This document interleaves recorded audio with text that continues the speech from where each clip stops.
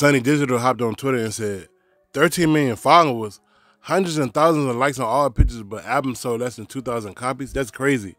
The math ain't adding up. And then he said, if I had millions of followers and my album sold 2K, I would probably just delete all my social media because y'all lying to me. Hell yeah. But that just goes to show you all them followers don't equate to customers. You could have 30 million followers, but if you put out an album, only 5% of them followers is gonna really consume your shit. It's just like with YouTube. You can have all the subscribers in the world, but only a small percent is gonna watch your videos every day. That's just it's the truth. So I don't know what type of marketing plan she had. I don't know what type of promotion she had because she didn't do no big interviews. She did all the local interviews as far as the ones that people don't really know about.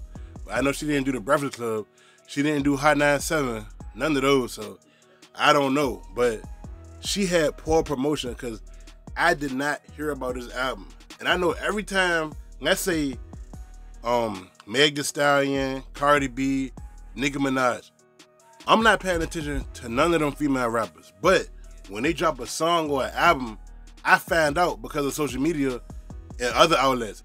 That's what you call having a good team.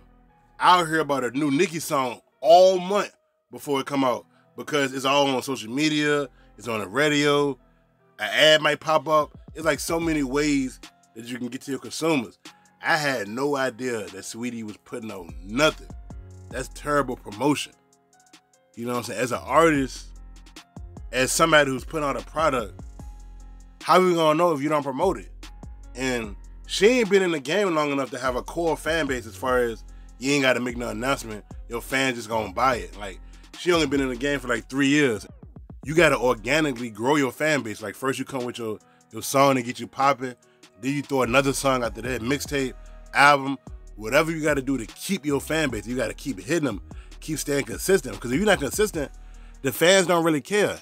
And if you're making the same type of music that everybody else making, fans gonna realize that. Because these days, man and woman, all the music sounding like. If you're not original or interesting, fans gonna get tired of you. Simple as that, man. What y'all think about this? It will be.